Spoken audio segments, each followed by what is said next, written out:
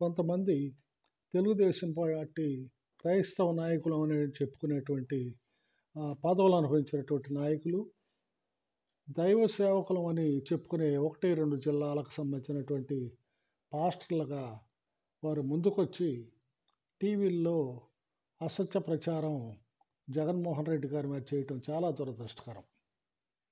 వీరు వాస్తవాలను మరుగుపరిచి మాట్లాడటం కూడా మనం గమనిస్తున్నాం.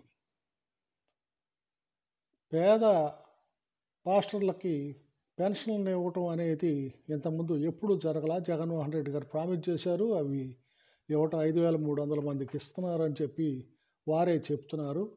మిగిలిన కూడా ప్రాసెస్లో ఉన్నాయి. అలాగే శ్మశానాలు శ్మశానాల సమస్య ఈరోజు జగన్మోహన్ రెడ్డి గారు వచ్చినప్పుడు లేదు. ఒకేసారి శ్మశానాలు రాష్ట్రంలో ఉన్నటువంటి అన్ని గ్రామాలకి శ్మశానాలు దరిదా పూర్తయిపోవచ్చుని ఇంకా కొన్ని చోట్ల ఉన్నాయి.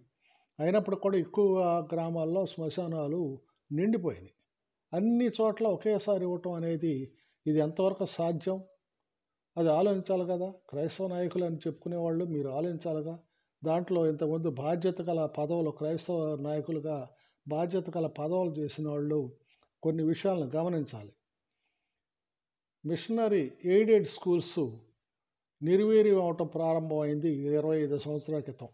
అంతకుముందు ఎయిడెడ్ స్కూల్స్లో అందరూ కూడా టీచర్స్ అందరూ కూడా క్రైస్తవ మిషనరీ సంస్థలే వారిని నియమించుకునేది. చక్కగా అక్కడ విద్యార్థులకి స్థానిక విద్యార్థులకి విద్యాభ్యాసం జరిగేది.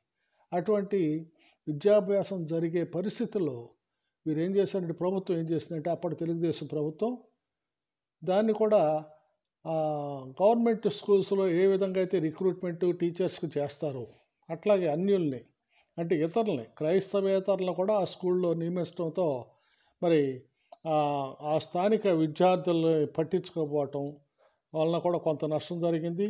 మరి తర్వాత వైఎస్ రాజశేఖర రెడ్డి గారు రెండు వేల నాలుగులో వచ్చిన తర్వాత మరి వారికి చదువుకునే వాళ్ళకి ఉచిత విద్య అందించడం వాళ్ళ ఫీజులు రియంబర్స్మెంట్ చేయటంతో విద్యార్థుల సంఖ్య పెరిగింది.